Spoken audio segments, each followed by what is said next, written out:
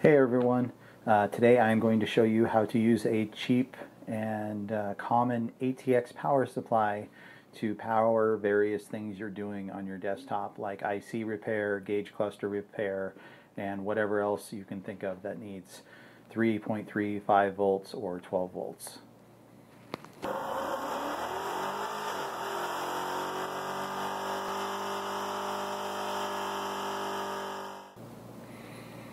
So this is what I built. This is an ATX power supply um, and it just has this uh, little board on it that allows you to connect directly to everything and it also gives you a USB plug. Uh, super easy to, to do, um, super handy. I'm going to be using it for a lot of like gauge cluster repair and things of that nature. Um, I was going to put this in an enclosure, but there's really no reason to. It's pretty self-contained just the way it is. And then uh, I've just put these little connectors on it so I can connect directly to wires uh, without too much problem if I don't want to go directly to the board right there. Um, should be super handy, very easy, very cheap. Um, I will put all the links below for the parts that you need to build this in case you want to do your own. Today I am going to make a uh, desktop power supply using this ATX adapter. And this is pretty rad because it's got negative 12 volts, positive 12 volts, positive 5 volts, and positive 3.3, and a USB connection, which is probably most of what I'll be using. And then I also got myself a set of test leads. Um, these are kind of cool. They got little sharp little poker guys right in here. Let's see if I can, I don't know, it'll zoom in on that.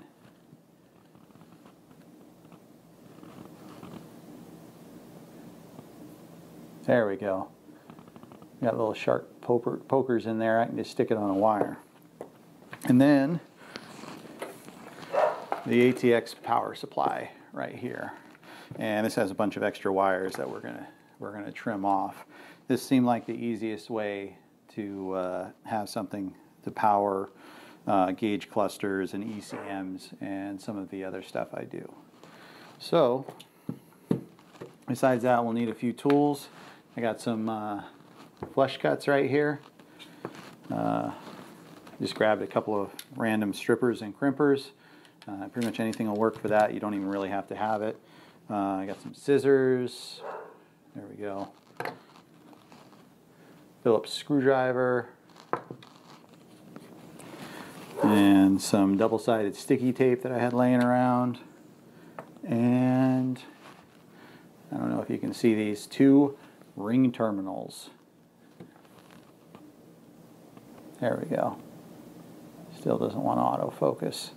Pretty simple. So anyways, first thing we're going to do, take this bad boy apart so we can take the extra wires off.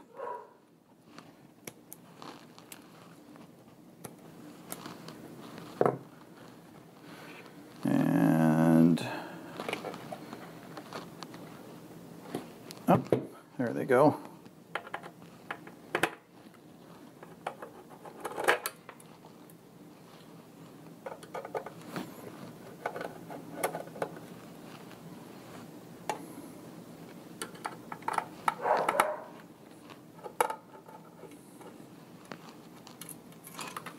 Ah, dropped it inside. Oh no. I think there's one probably under there.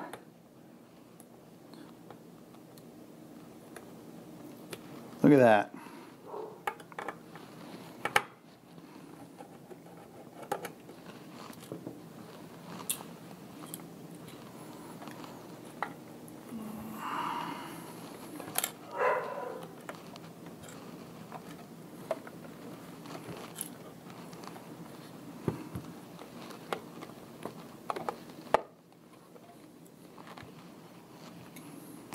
Now I can't stick it in there.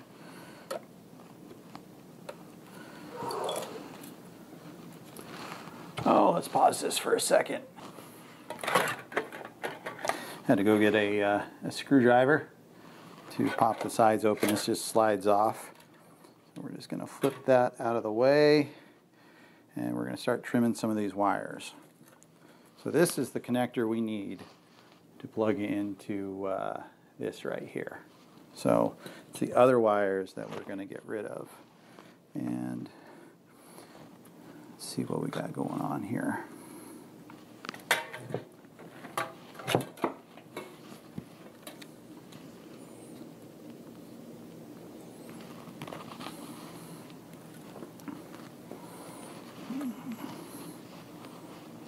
There?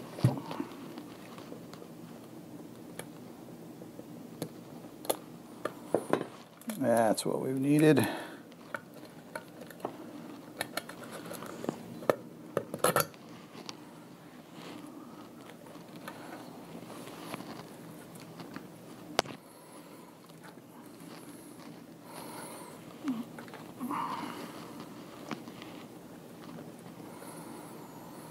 These are these are color coded. Um, red is five volts.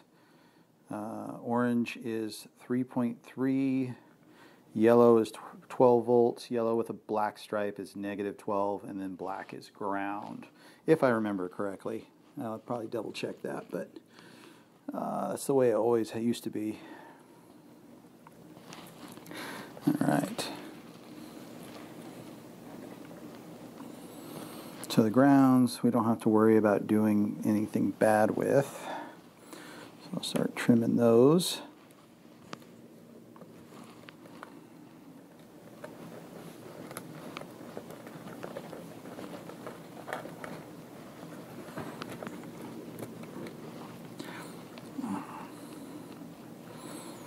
And looks like we have another set of grounds. Or what connectors are those? So we don't want that at all. Going to save some of these, but probably not the plus 3.3.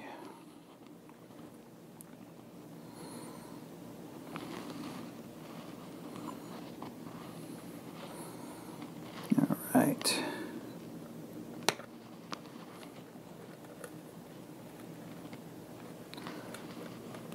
I'm save two of these grounds, I think.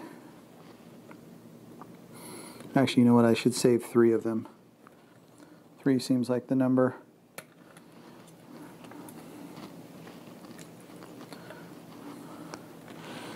All right. And then, so we got three grounds right there. And I'm not going to leave a lot hanging off of here, so we will cut those right there. And then reds, cut those right there. And yellows, cut those right there. And we'll leave a 3.3 in case we need it.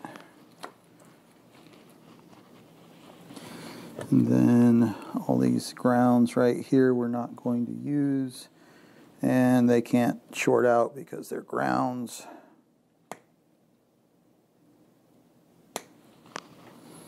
All right. Now the only thing we have left is some negatives. These are all negatives.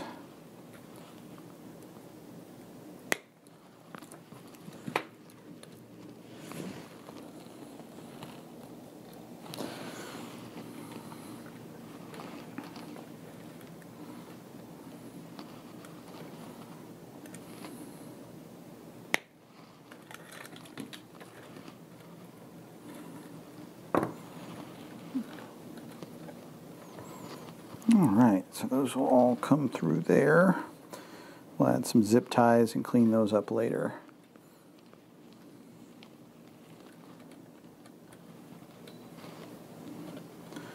And let's just put all these together.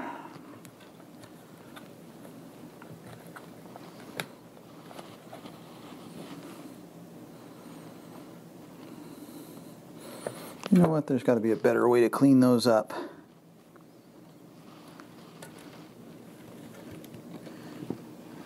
Should unsolder them, but I don't want to do that much work.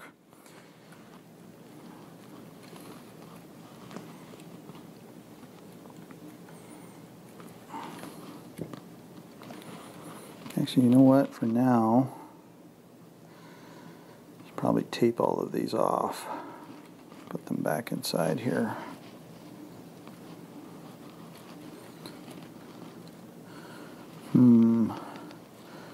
So many decisions.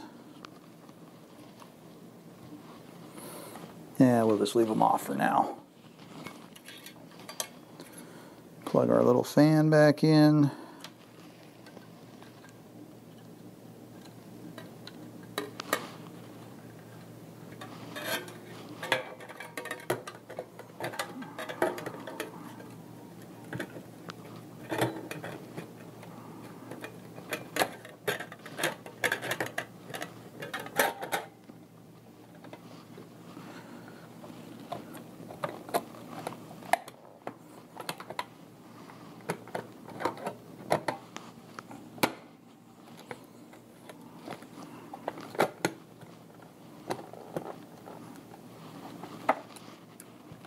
Ah, that would be the issue.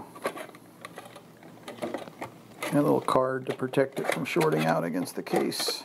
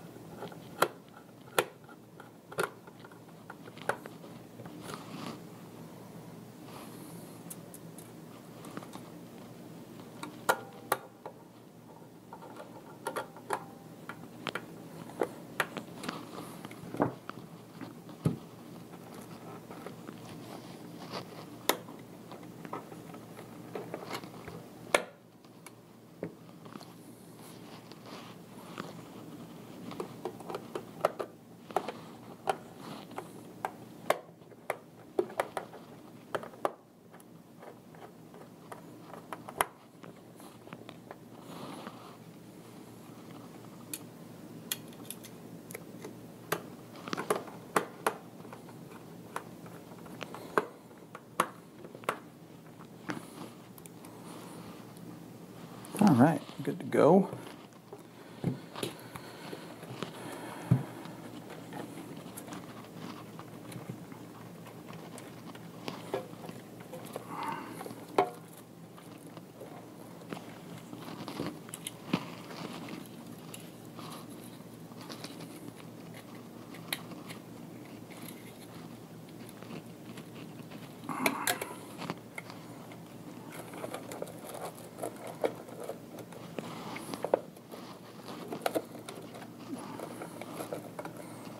Work right there.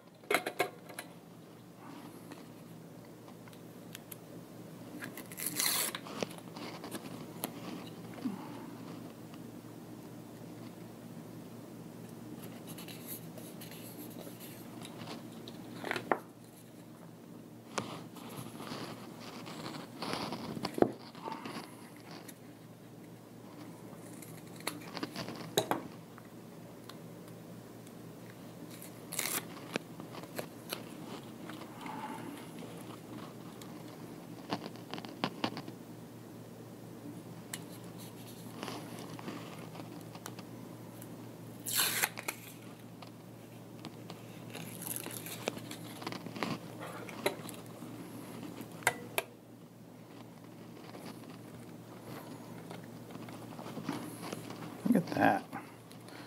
Go get some zip ties, clean that up.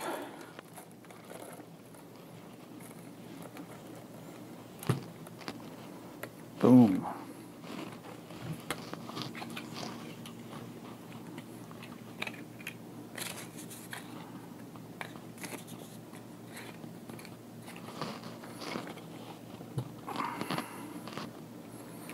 Get rid of this.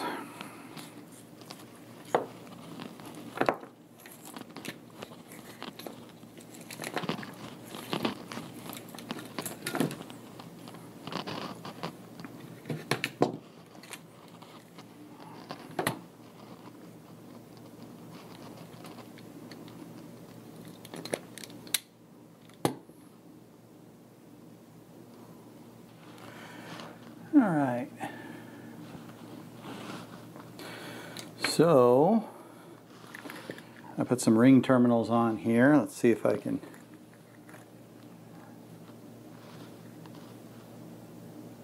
some ring terminals and some heat shrink to clean those up. Should probably zoom in, huh?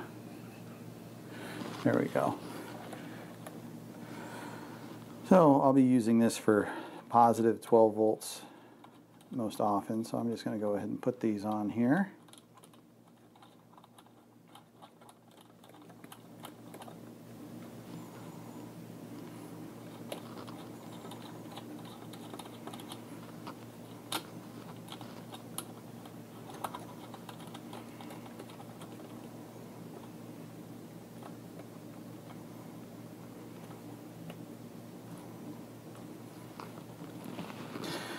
We go. So now I can just uh, clip these guys on. Any wire I need to power. I can also hook stuff up directly to here if I need to.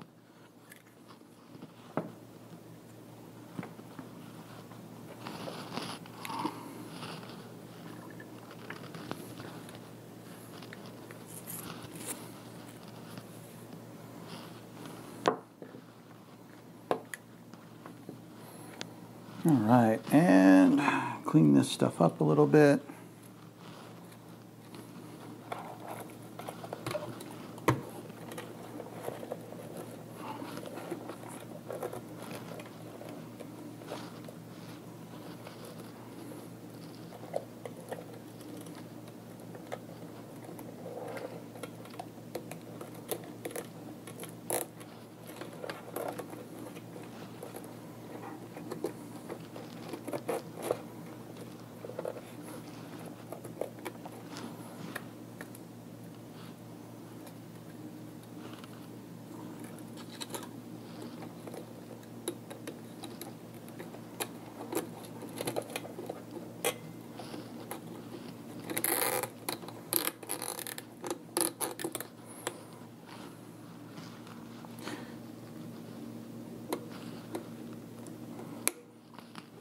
By the way, here's a tech tip. Always use a set of flush cuts like this to cut zip ties. That way, when you uh, put your finger across here, that you don't get cut.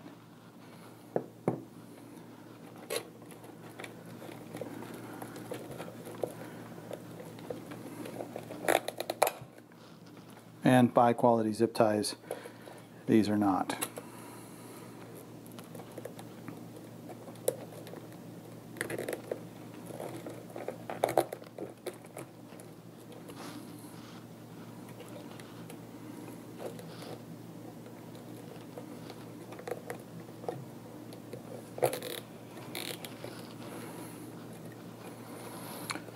Now this is not the right way to do this, but I am just going to zip tie these up right now out of the way.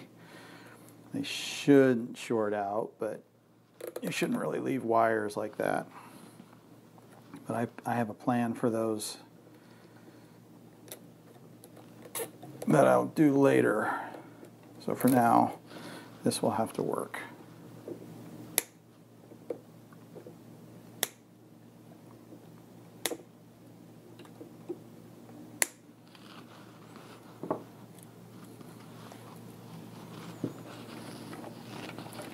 Look at that. See if I can get it on here. Nice little, uh, nice little deal. Doesn't take up much room on my desk, but it does what I need it to do. This will be perfect for fixing gauge clusters and BCMs and other random stuff I do.